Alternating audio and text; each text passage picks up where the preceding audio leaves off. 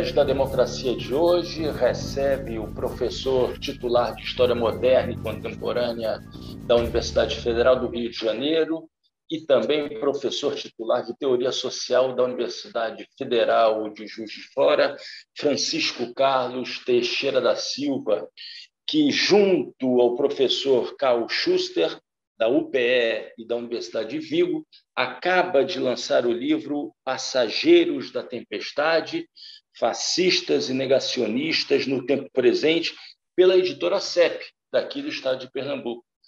Chico, é um prazer enorme recebê-lo no Trilhas da Democracia, esse nosso espaço de defesa, discussão, debate, luta pela democracia e os direitos humanos. Seja muito bem-vindo, Chico. Obrigado, eu que agradeço.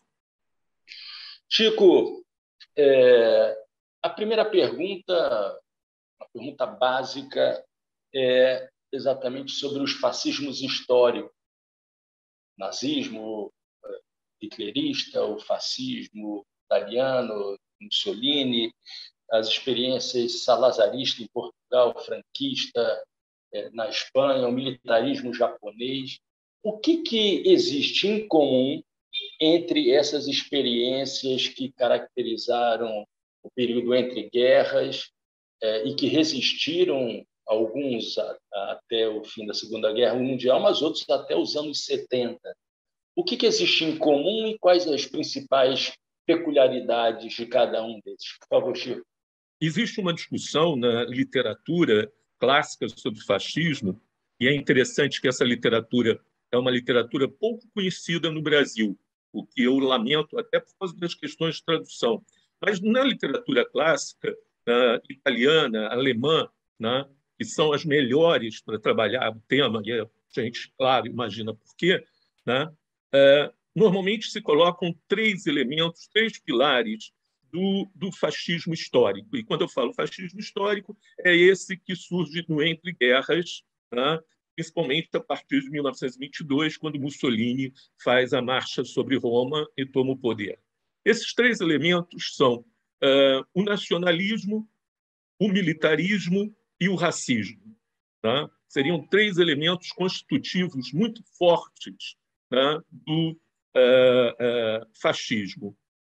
Entretanto, quando a gente tenta trabalhar o fascismo fora da Itália, fora da Alemanha, começam a surgir problemas. Alguns autores, inclusive autores de grande respeitabilidade, como Enzo De Felice na, na Itália, ele diz que ele dizia né, que fascismo era italiano e ponto. Não poderia se usar o fascismo para nenhuma outra nação e que era distinto, inclusive, do nazismo. Né? Então, portanto, para esses autores, né, é, Trevor Hopper, é, Felice, Nolte, né? é, falar em fascismo né? no coletivo, no plural, é, é, é errôneo, não teria nada acrescentar ao debate historiográfico.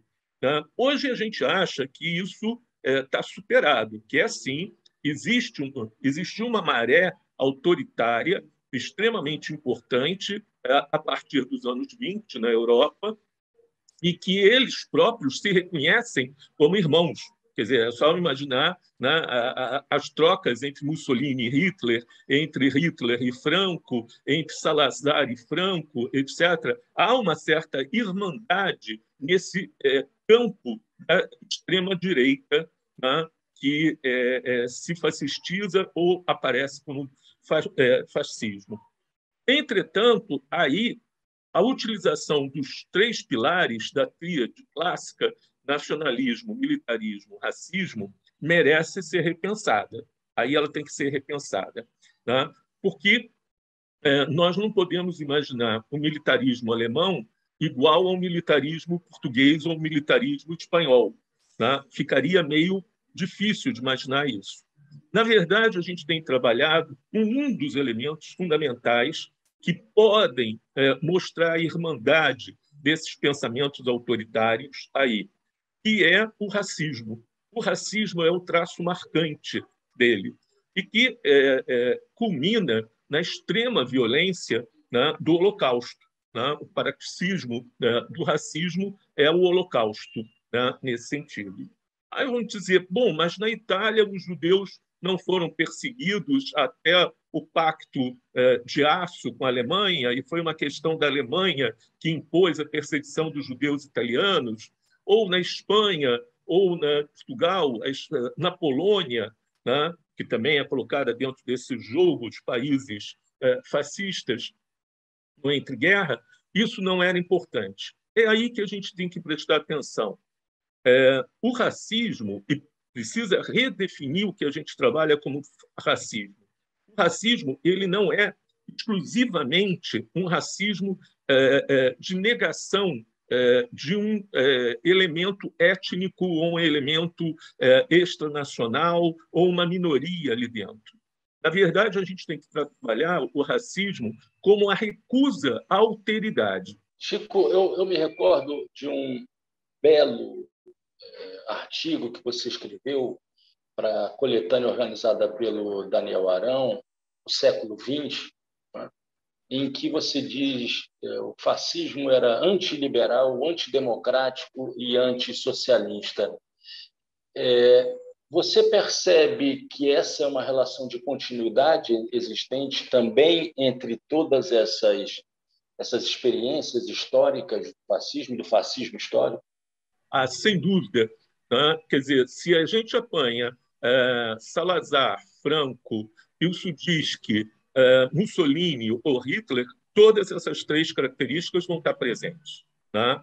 E vão estar presentes no fascismo atual.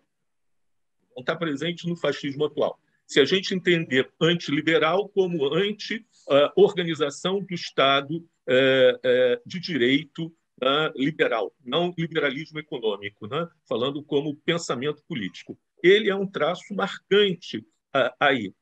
E o liberalismo, né? não, não é, o liberalismo. Né? Isso.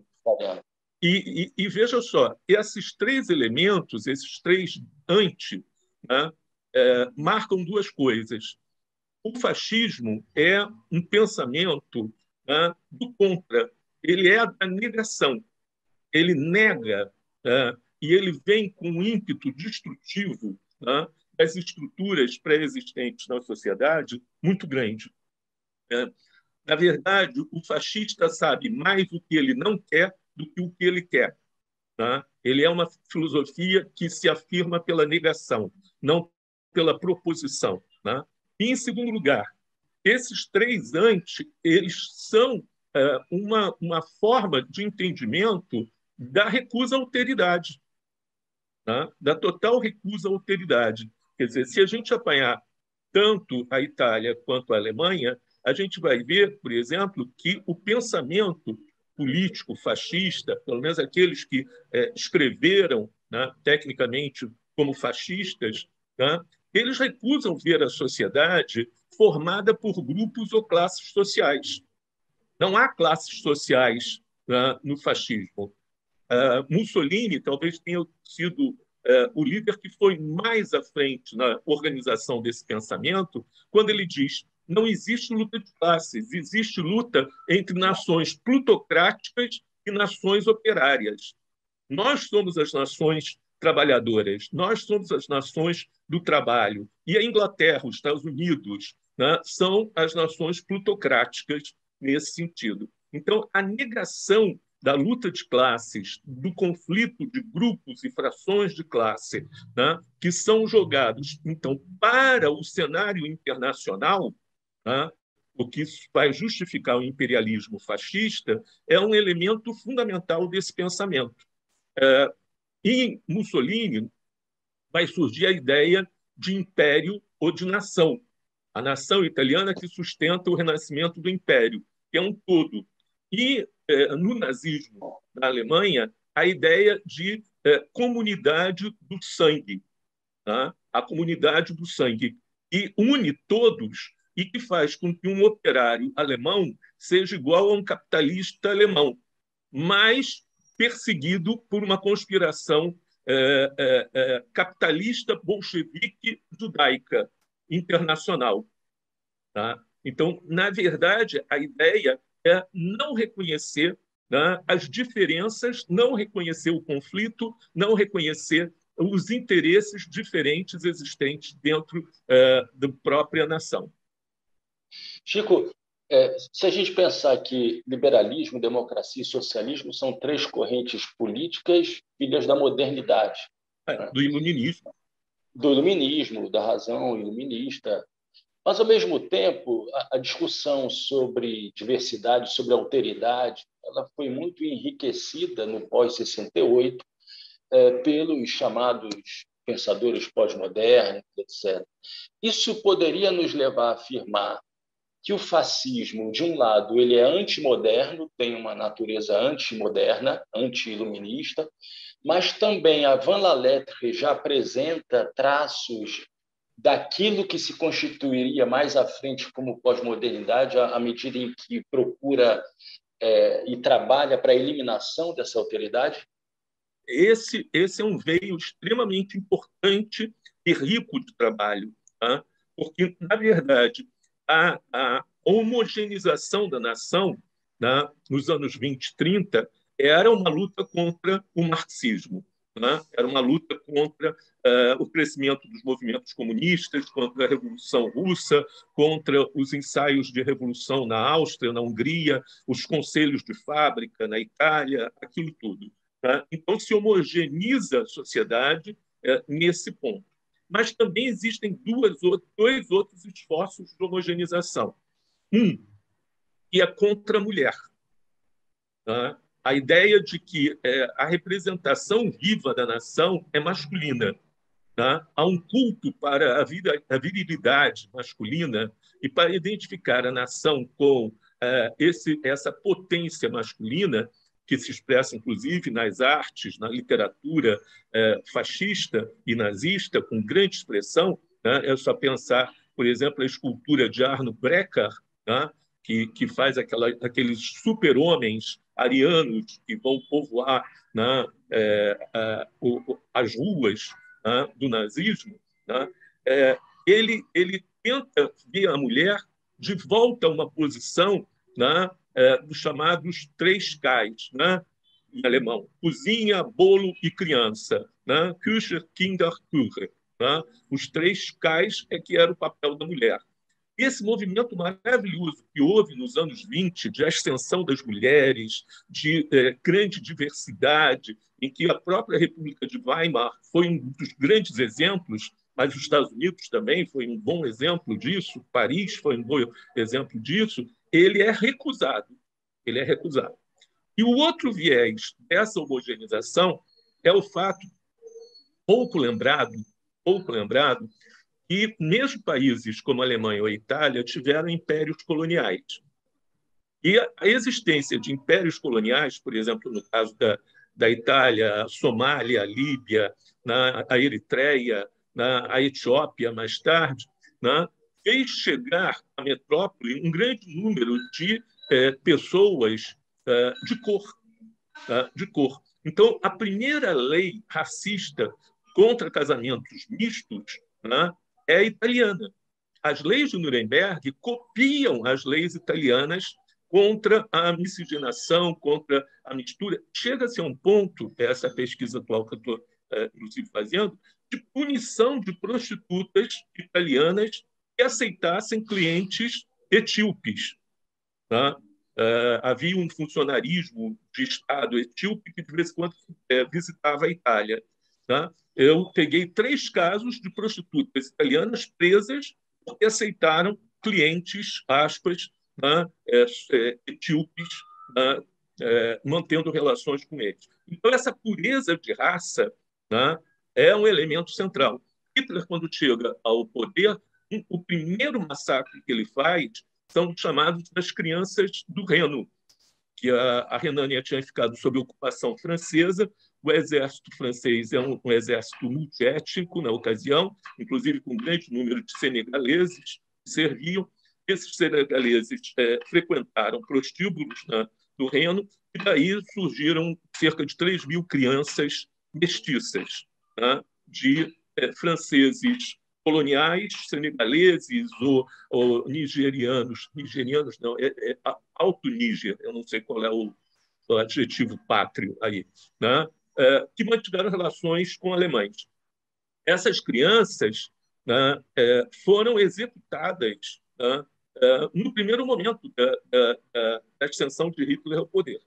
Né? O horror da existência de alguém é, de pele escura e característica negra que pudesse se dizer alemão e tivesse uma cidadania alemã é tamanha que leva a essa é, é, é, esse massacre das crianças negras do Reno.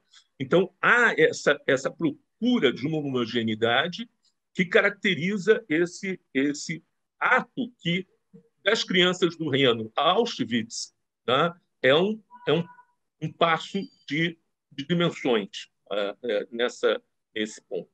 Chico, eu me recordo uh, algumas ocasiões em que você dizia só se usa a expressão nazifascismo no Brasil. É, eu sei que é uma, uma questão é, muito pontual, mas por, o porquê da tua implicância com o termo nazifascismo, nazi-fascismo? É, é, na verdade, essa expressão ela surge no próprio tempo da guerra, né, aqui no Brasil, é, e foi é, utilizada pela imprensa brasileira e que chegou, assim, em algum momento, a falar nazifascismo e militarismo japonês. Tá? Quer dizer, se a gente está trabalhando com o conceito de fascismo, e o fascismo engloba cada uma das manifestações nacionais desse regime, desse pensamento de extrema-direita, uh, militarista e nacionalista, né? Por que, que eu estou falando em nazifascismo? É como se eu estivesse falando em capital capitalismo ou liberalismo. Né? Quer dizer, quando eu falo em nazifascismo, sem querer, eu estou fazendo um contrabando teórico. Eu estou dizendo que não existe o conceito geral de fascismo. E fascismo não dá conta do fenômeno no seu conjunto. E eu preciso descrever o, o, o cada um deles. Feito esse esclarecimento, Chico. É uma implicância a... mesmo. Passamos a uma segunda questão que é tratado e abordado também no, no livro, é, que é, é, do ponto de vista da história do tempo presente, você é um dos grandes nomes das discussões, das reflexões sobre a história do tempo presente no Brasil. É, como, é, como é possível analisar o retorno do fascismo nos dias atuais por meio de um lado, do recurso ao negacionismo, por outro lado, por meio é, de um revisionismo fraudulento é, dos fatos e, processos históricos. Vou acrescentar um, uma, outra questão. O que diferencia o revisionismo fraudulento, né, que você é, usa essa expressão, do revisionismo que, digamos, é conatural ao próprio desenvolvimento da historiografia e das reflexões sobre a história. Por favor, Chico. Essa chamada sua, Marco, ela é fundamental. E o nosso campo, mas também a arqueologia, a, a sociologia, a antropologia, a psicologia, né, são campos que nascem né, da pesquisa de base e do debate teórico né, dentro do campo da própria literatura. Então, ela está naturalmente em movimento. Tem uma frase que é atribuída falsamente ao Pedro Malan, né, ao ex-ministro, que diz que o Brasil é um país tão estranho que nem o passado é certo. Né? Essa frase, na verdade, ele copiou de um é, jornalista russo que se referia à própria União Soviética quando ela entra em colapso em 1991, onde se refaz tudo que foi história, né? Quer dizer, inclusive em relação é, é, às origens da própria revolução. Né? Uma das coisas mais importantes que acontecem durante o, o, a Glasnost foi, por exemplo, é, é, eles aceitarem a existência de Leon Trotsky. Leon Trotsky era uma figura que tinha desaparecido da história da União Soviética. Uma das primeiras coisas que aparece são biografias de Leon Trotsky publicadas durante a, a, a, a Glasnost. Né? E esse jornalista falou: a, a, a, União Soviética é um país tão estranho, tão estranho, que nem o passado é certo. Né? O Pedro Malan, inteligentemente, copiou e não disse que não era dele, e vive repetindo isso em relação ao Brasil. Ora, isso é uma, uma, uma é, é, sabe, é absurdo, porque em história, se há alguma coisa que não deve ser certa, é o passado. Tá? Cada vez que nós abrimos um arquivo ou se tem uma pesquisa, eu estava vendo essa semana um documentário importantíssimo sobre uh, a descoberta uh, de um círculo de pedras na Espanha que estava embaixo d'água e só a seca agora permitiu que esses megalitos fossem vistos, etc. Quer dizer, o passado ele, ele, ele, ele se refaz a cada momento dentro da nossa disciplina. Um passado fixo seria necessariamente um passado das ditaduras né, eh, estabelecidas sobre o campo das ciências humanas. Então, não há nenhuma novidade em rever o tempo todo o passado, seja por novas fontes, seja pela aplicação de novas metodologias, seja pelo debate teórico. Né? Por qualquer um desses caminhos, ou pelos três ao mesmo tempo, né, nós revemos o passado o tempo todo. O passado não é fixo o passado não é, é estabelecido nesse, nesse sentido. O que pode parecer muito estranho para é, é, alguém que não trabalha no campo da história, e particularmente da história, arqueologia, antropologia, nesse, nesse pormenor. Mas, para a gente, é claro, isso é o revisionismo né, é, derivado do é, caráter do campo, né, e que não há problema em relação a esse. O outro revisionismo, que é um revisionismo praticado pelos estados autoritários é, e boa parte de uma academia que se deixa levar por motivos vários por esses estados autoritários, é rever e reconstruir o passado a partir de finalidades de poder, né? a partir desses é, interesses do poder. Né? Aí a questão é extremamente grave, porque a gente está fazendo isso aí, fraude, está fraudando né, a pesquisa nesse sentido. Talvez o caso mais importante tenha sido a tentativa de um pesquisador inglês de achar um fóssil humano inglês para dar origem à raça, aspas, anglo-saxã. Né? Então, é, o homem de Piltdown, né? e seria só aquela origem. Ou então procurar um fóssil é, dos germânicos antigos para diferenciar é, das outras populações né, principalmente mediterrâneos, árabes e negros eh, e judeus nesse sentido. Então, isso é um mau revisionismo, isso é fraudar a história.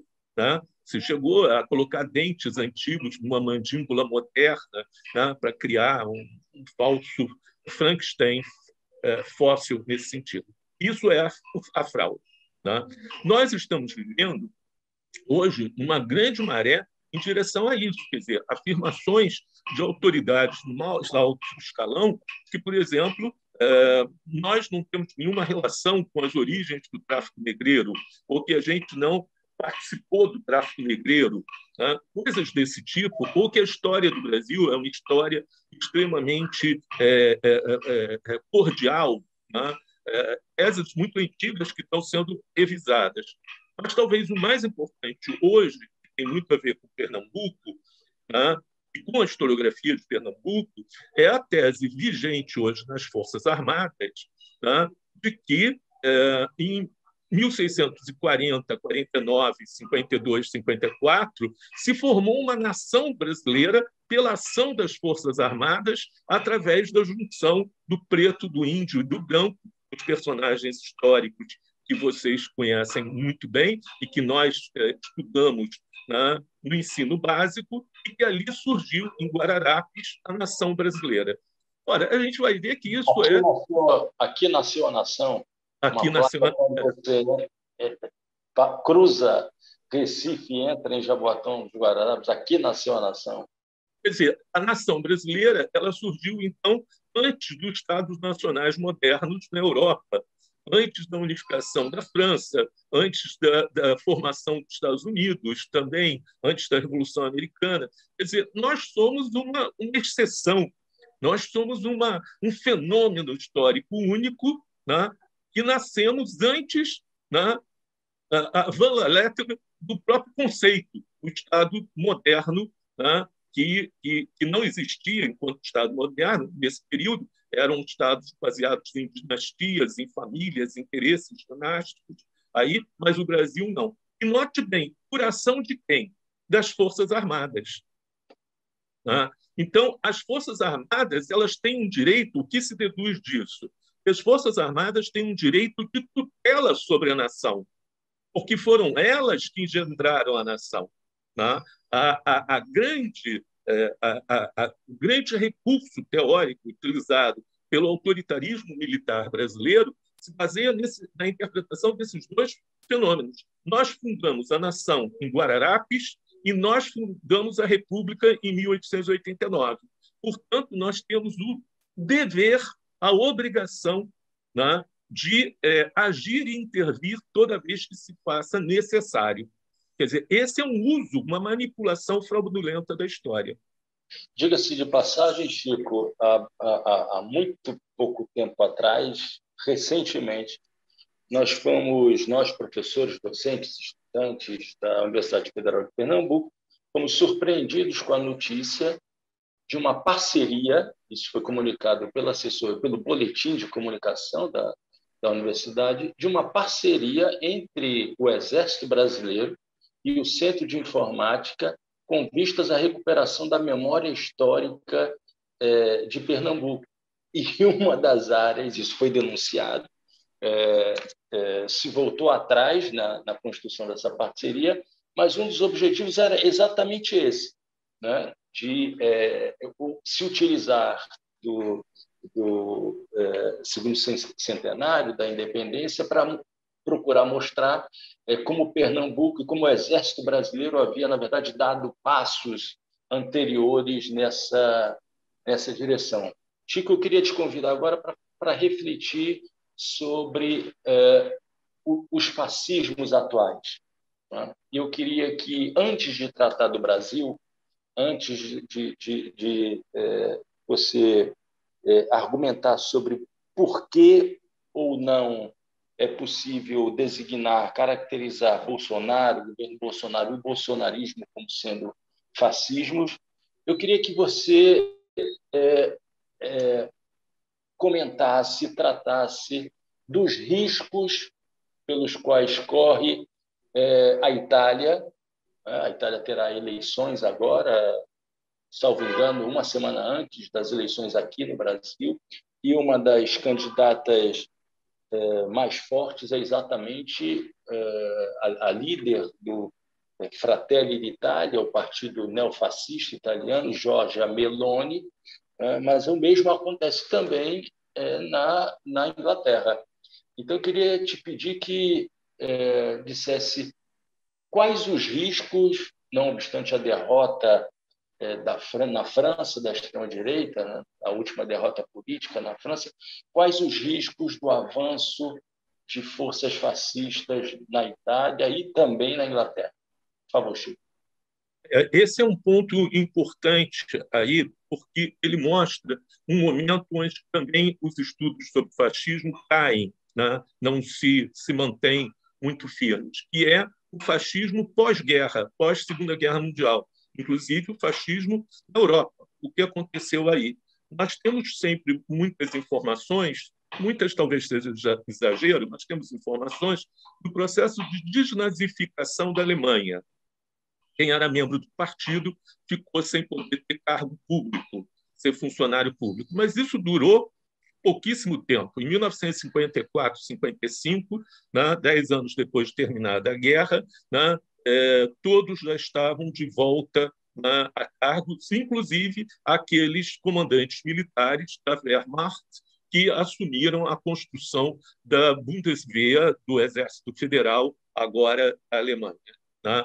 Muito das acusações de Berlim Oriental, né, da, da liderança comunista em Berlim Oriental, de que o Estado federal alemão, Alemanha Ocidental, era um Estado neonazista, né, não é, é descabido né, se a gente pegar é, a, a, trajetória de um grande número de funcionários militares e civis que fundaram a, a Bundesrepublik, a República Federal, nesse sentido. Na Itália aconteceu mais do que isso até. E o processo de desfascistização da Itália nunca foi colocado em prática ele nunca foi colocado em prática. É, na verdade, a Itália se divide né, é, a Segunda Guerra Mundial se torna uma guerra civil dentro da Itália, até a morte é, de, Mussolini, a derrubada da República de Salò, a morte de, de, de Mussolini. Nesse sentido, tanto na Alemanha quanto na Itália, e agora no processo espanhol de redemocratização da Espanha, que foi muito parecido com o brasileiro, no qual nós nos inspiramos muito tá? é, na, naquele momento. Felipe Gonçalves foi um personagem muito importante para a redemocratização brasileira. Né? É, surge uma interpretação, também ela muito duvidosa, né? no limite mesmo da fraude, de que, na verdade, é, a Itália foi um país dominado pelo fascismo. O fascismo era o inimigo de todos. Né? e que é, a Segunda Guerra Mundial e a, a, Guerra Civil que se segue são, na verdade, guerras de libertação nacional. Tá?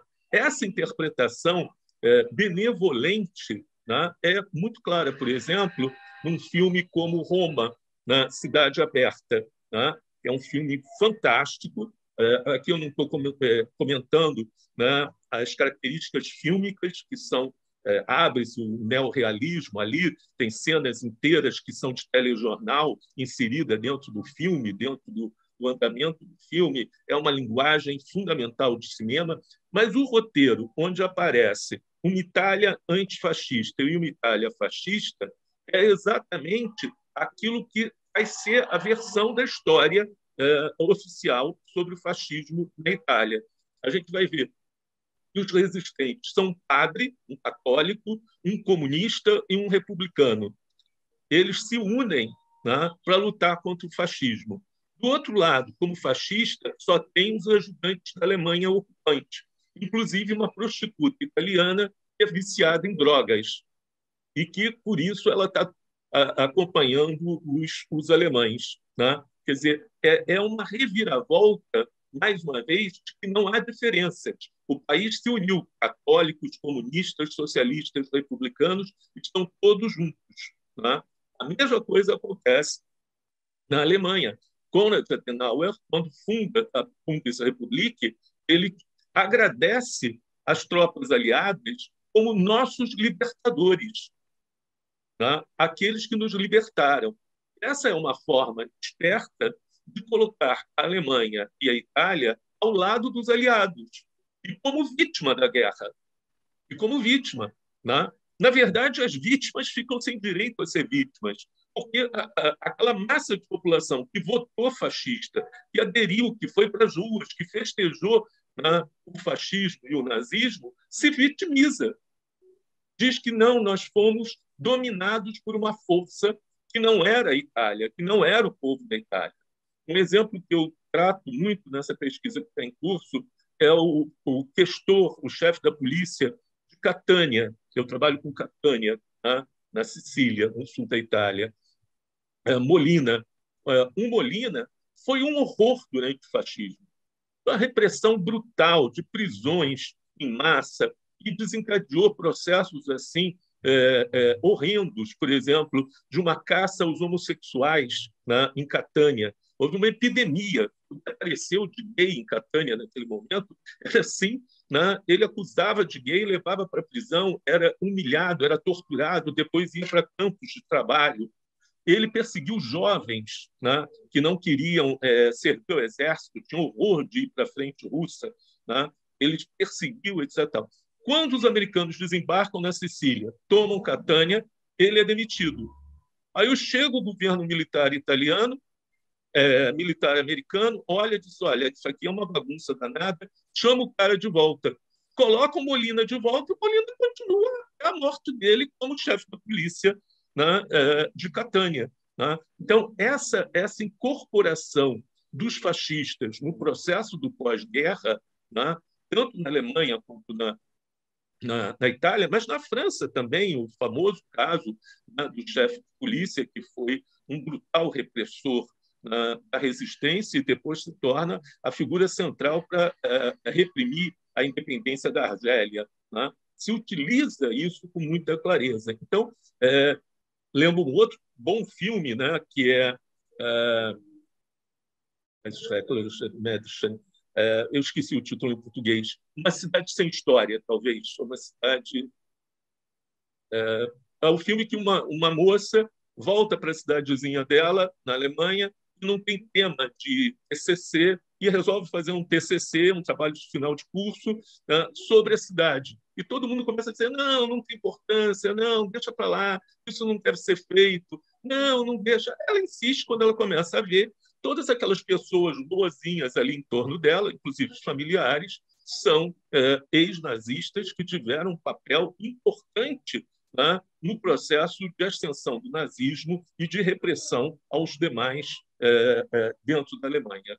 Essa, é, essa cidade sem passado né, é, é a tentativa exata do, da fraude aí que está. Uma boa parte da burocracia do Estado fascista italiano é, se manteve no, pós-Segunda Guerra Mundial, em especial o, o judiciário. Né? E isso foi colocado na balança por, por, Palmiro Togliatti, que participou do, do, é, do, do primeiro governo pós-fascista na, Itália. Chico, eu gostaria agora é, de chamar para conversa o nosso atual governo. É, você considera, eu já trouxe aqui inúmeros especialistas né, que divergem entre si sobre a caracterização do governo Bolsonaro, é, a figura de Jair Bolsonaro e do bolsonarismo. Como é que você definiria Bolsonaro, o governo Bolsonaro e o bolsonarismo, tendo como referência o, o conceito não histórico, mas o, esse novo conceito de fascismo é, do tempo presente?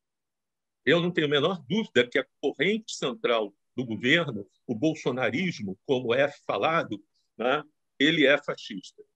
Né? tem a menor dúvida disso.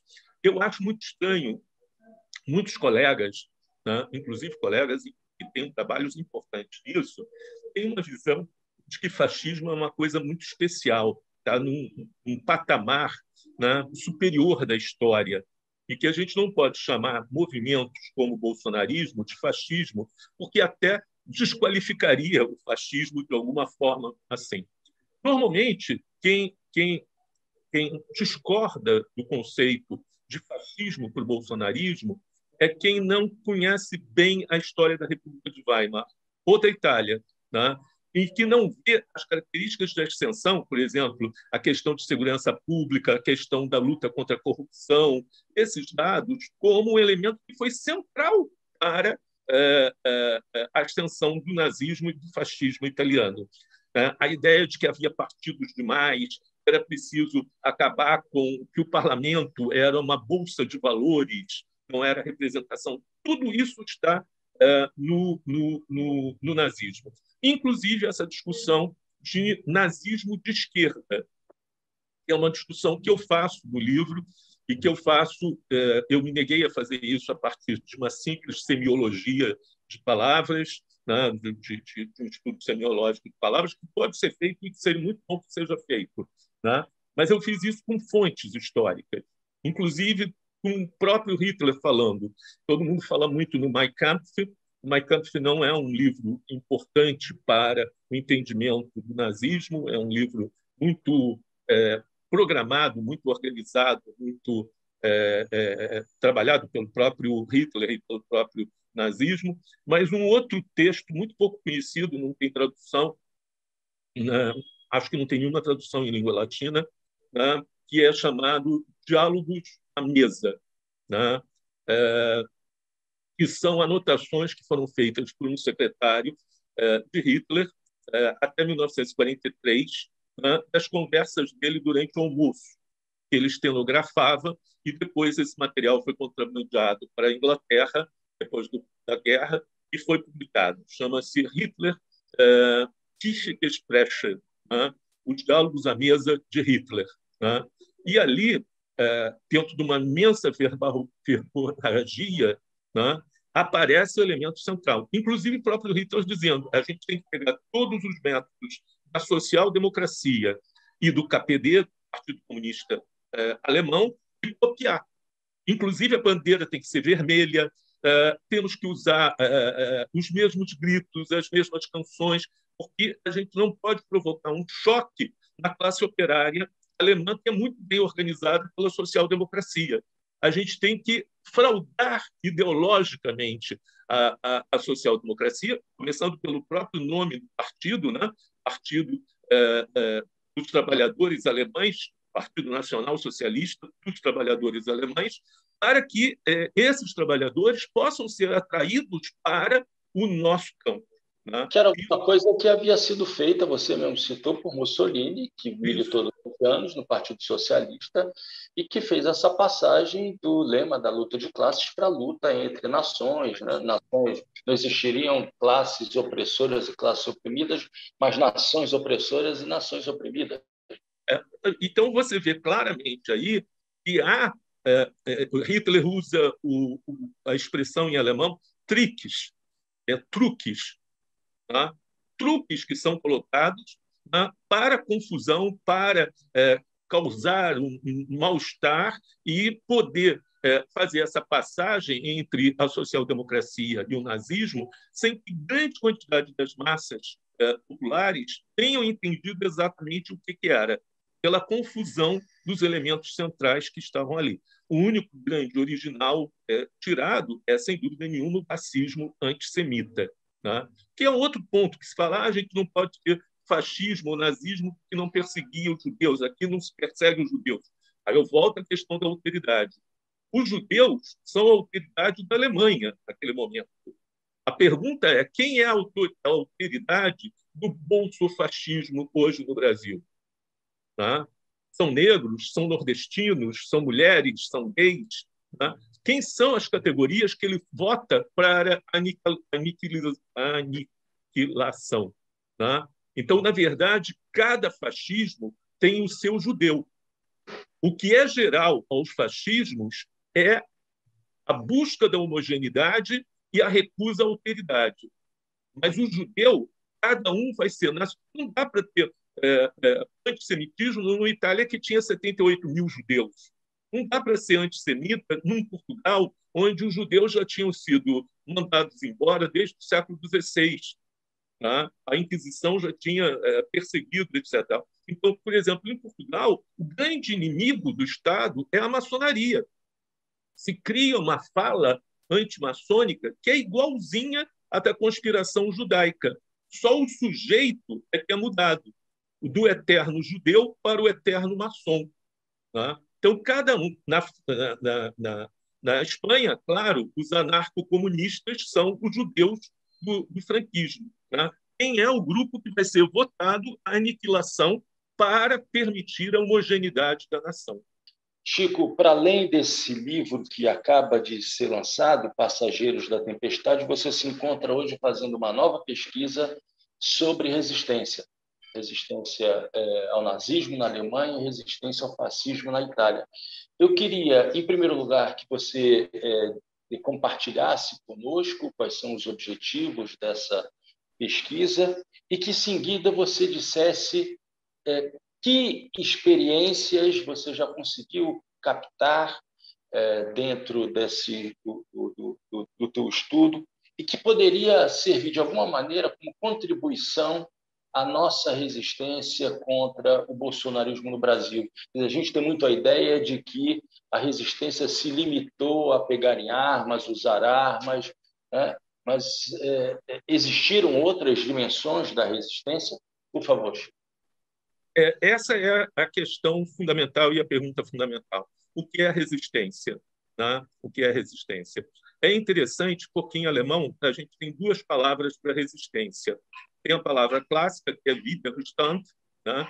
É, vida é, é, de frente, stand, é, está, está de pé. Né?